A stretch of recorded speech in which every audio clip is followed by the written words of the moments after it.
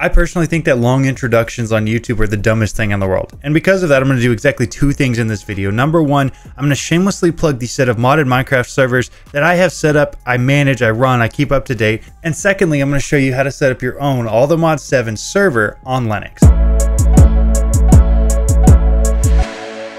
Since this video has no sponsor, I wanted to take a quick second to tell you a little bit about a project that I've been working on. Every single video on my YouTube channel that has done even remotely well has either been centered around my home lab or around Minecraft. And because of that, I started thinking, what could I do to combine these two subjects and provide something to you, the viewer, that would actually be valuable? The more I thought about it, the more I realized that it could potentially be relatively difficult for somebody to run both a dedicated server and the client side of a mod pack at the exact same time. And so I realized I already have the hardware thanks to my home lab to be able to run a whole bunch of these servers at the same time. So why not set them up and just let you guys use them? I currently have my main vanilla server and 15 modded Minecraft servers up and running right now.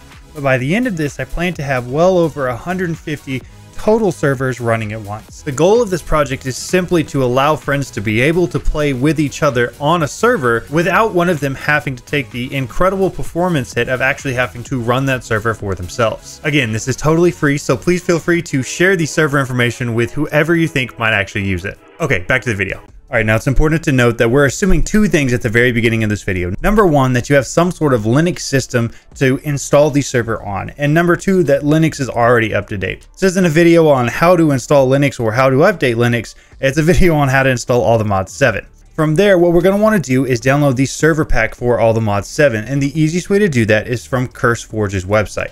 So open up a web browser and you can either search for All the Mod 7 server pack or you can go to curseforge.com and find it there. So once you're on CurseForge's website, you go to the mod packs tab and then you can search for all the mods.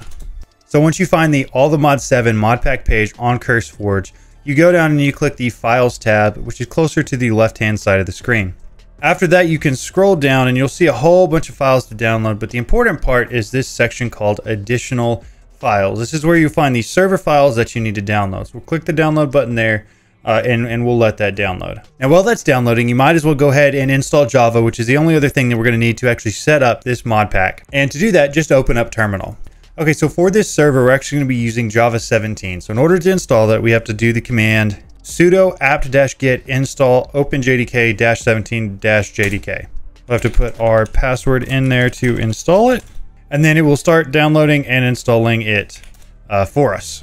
Now this does install the headless version and it's probably the easiest way to install Java on a Linux machine. Now about this point the download is complete so if we go find that download we can extract it into our downloads and then once that's finished we're going to create a folder structure to put this uh, this folder in uh, simply to keep things organized and clean. I have all of my mod packs with the exact same folder structure so that way I know exactly where to find it in case I need to come back in and change something. Paste the server files in here and then once we open this up, there will be uh, both an instructions uh, as well as an installer in here. You can open up the instructions if you want. Really, the only thing that you really need inside of here is to run this Forge installer. Now, in order to run the Forge installer, you do have to make it an executable. So in order to do that, right click, um, right click, click open in terminal.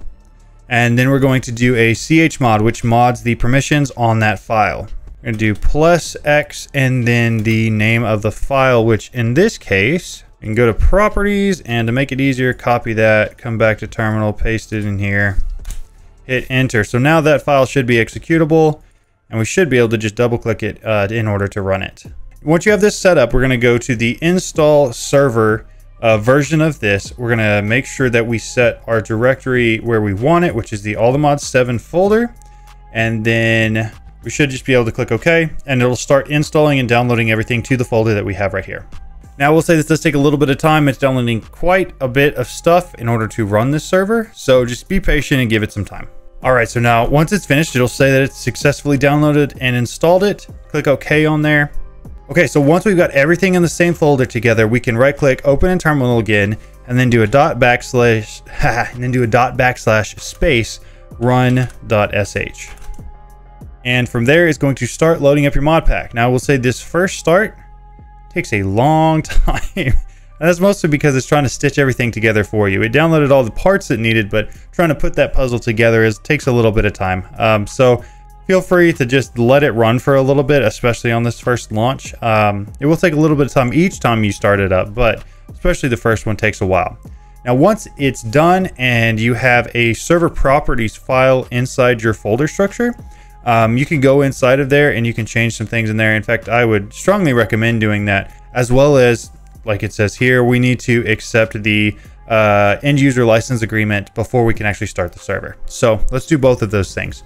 So the end user license agreement, all you have to do is go into this file, uh, change the false to true, uh, control save it, and then close out of it. And then your server from here on out will be able to start. I want to change a few other things real fast though.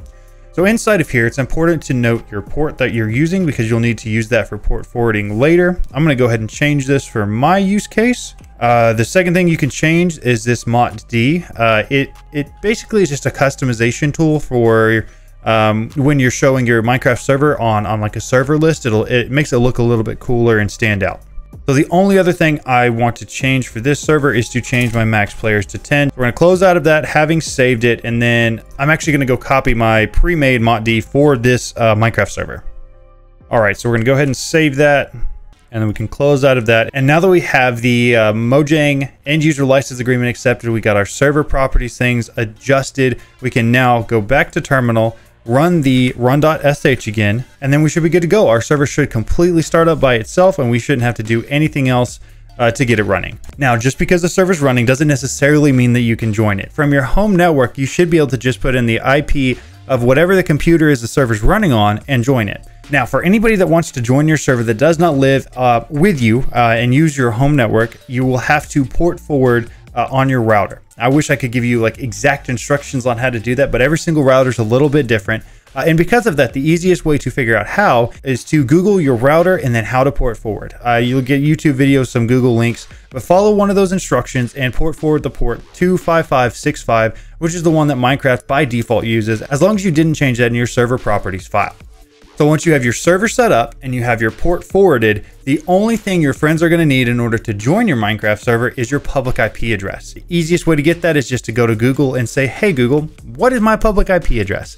And it will give you exactly what it is. Copy paste that into Discord, send it to them on a text, whatever you need to do to get it to them. And that's how they'll actually join your modded Minecraft server.